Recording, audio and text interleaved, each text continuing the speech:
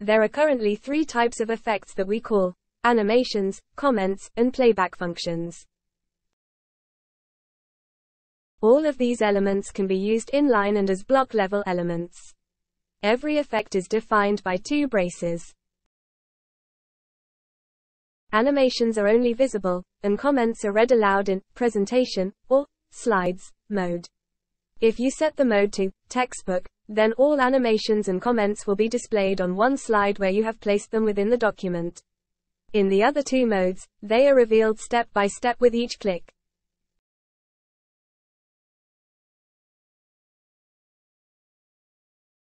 You need to balance these features properly so that your course can be read in textbook mode and used for presentations and more.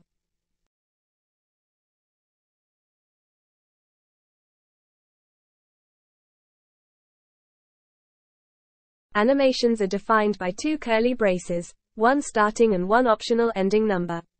They can be associated with single blocks, multiple blocks, and also inline elements. Animations can be associated with blocks by adding two curly braces above the block. We recommend indenting the animation definition by at least four spaces. Other Markdown renderers will highlight this as code, making it easier to read.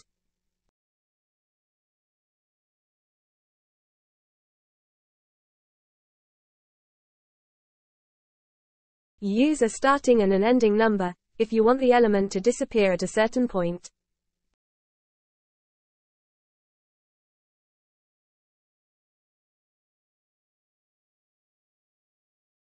Similarly to quizzes, as described in section quiz solution, you can group multiple markdown blocks by lines of asterisks. Simply add the curly braces with the animation definition above the upper line. Blocks can also have a starting and disappearing number. Depending on your preferred style, you can also use HTML tags to group blocks.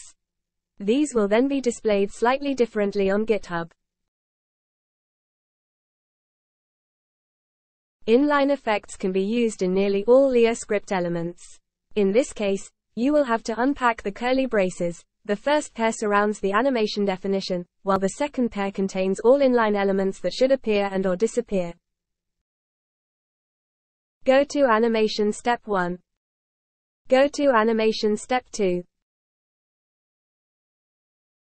Animations can also be grouped freely, allowing one multi-block animation to contain multiple block animations, and one block can also contain further inline animations.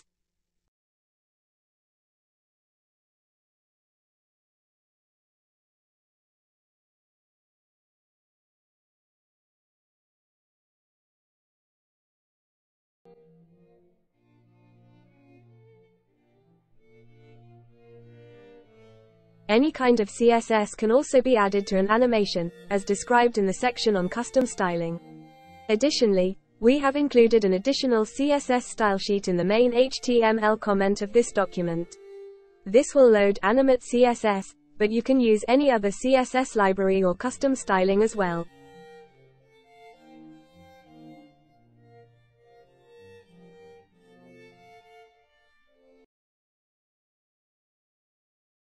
The idea of a comment is that they should be associated with animations.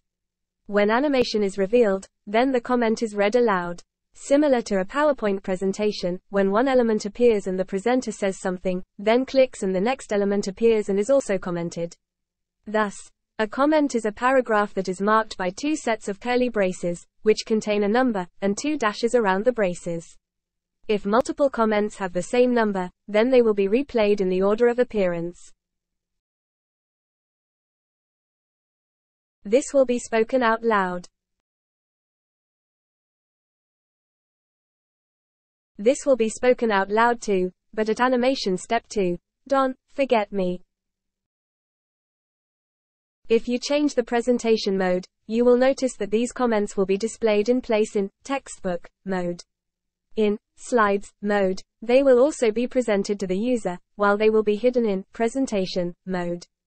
If you switch off the sound, then this is the mode that can be used for presenting content, while the others can be used for self-studying.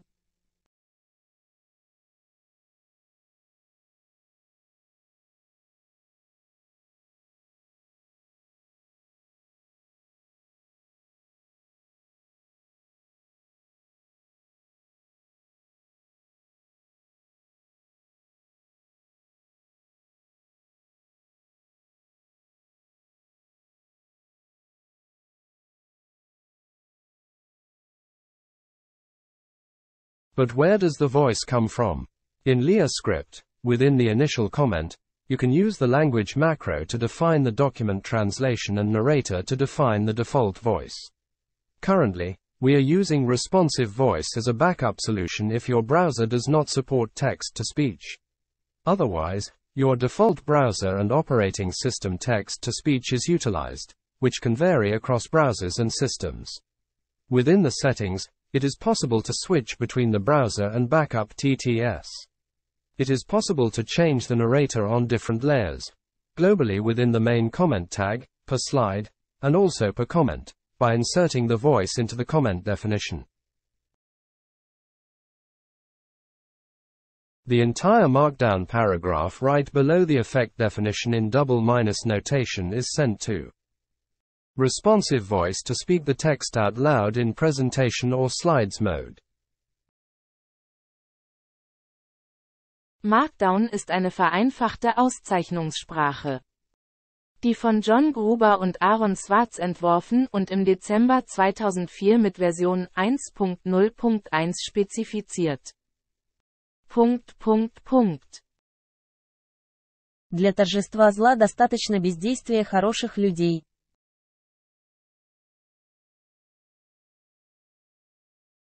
Sometimes.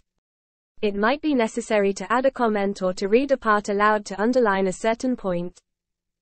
Which might be necessary in the narrated mode but not in the textbook. Therefore, it is possible to put your TTS output into simple HTML comments. This won't be shown to anyone and also not visible on most other markdown parsers and renderers. Speak this out, but do not show it to anyone.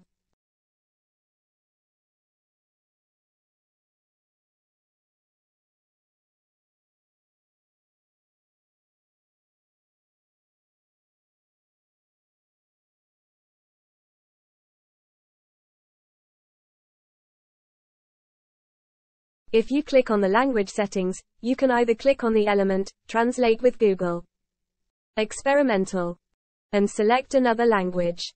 In this case, a JavaScript library will be injected that implements the translation feature. As you can see from the example, not all parts will be translated. Code blocks will not be translated by default. As well as comments that have been marked with another voice than the default. These comments remain as they are while LiaScript tries to find an appropriate voice for the new language and gender. You can attach specific parameters to the comment that prohibit or enforce translation. By default, Google will search for the class definition translate or no translate. But other external browser plugins might also take into account the HTML5 attribute translate. So it is always good to use both definitions.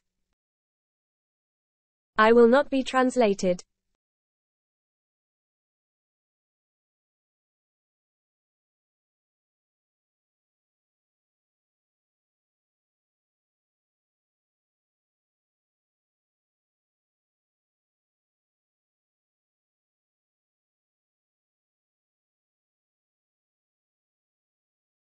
Sie können dem Kommentar bestimmte Parameter hinzufügen, die eine Übersetzung verbieten oder Для торжества зла достаточно бездействия хороших людей. Sie können diese Sprachattribute an jede Art von Markdown-Block oder Inline Sie können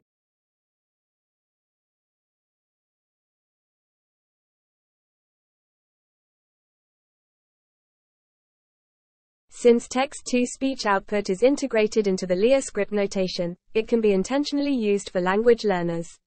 Simply add a stylized play button to the effect definition to indicate what should be spoken out loud. You can also use different voices. This entire paragraph will be spoken out loud. But in this case, this can also be combined with a couple of different markdown elements whether it makes sense or not.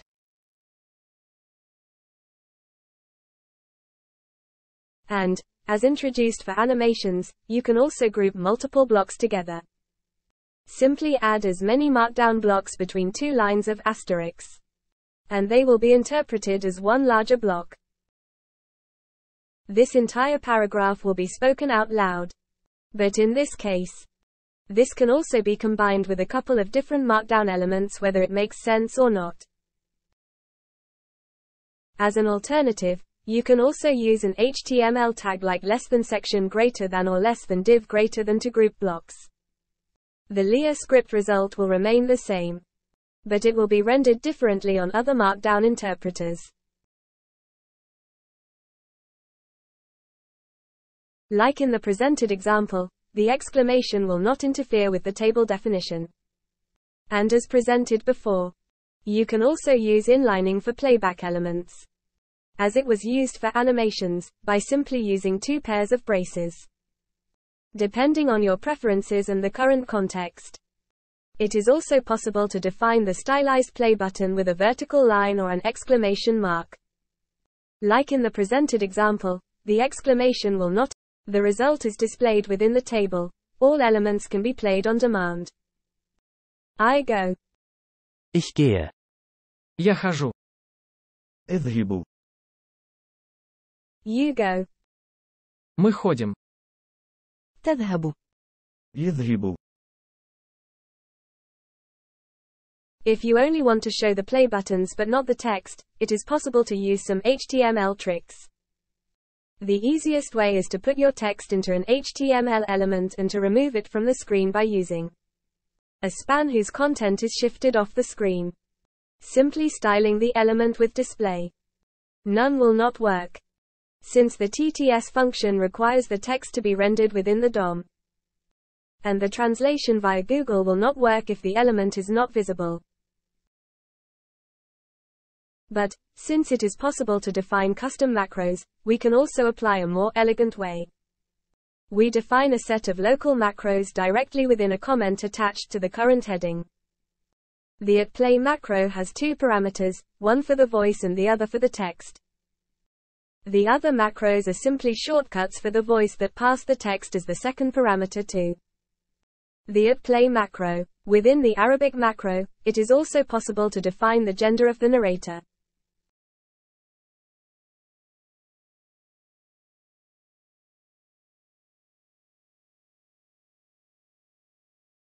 The outcome is a table with playback buttons only. Where the text is concealed And the primary language will be translated while the other languages remain unchanged. I go. Du gehst. Ты ходишь. تذهب. Wir gehen. Мы ходим. They go. Since we are utilizing the double braces notation for playback elements, this can also be combined with animations by adding appearance and disappearance numbers. Depending on the current state of the animation, this will result in different sentences. You need to keep in mind that this will function as intended only if the user is not in textbook mode. Otherwise, all elements will be read out loud, and nothing will be hidden. This is an example where I go to work. I am going. Need, I go. This is an example where I am going to work.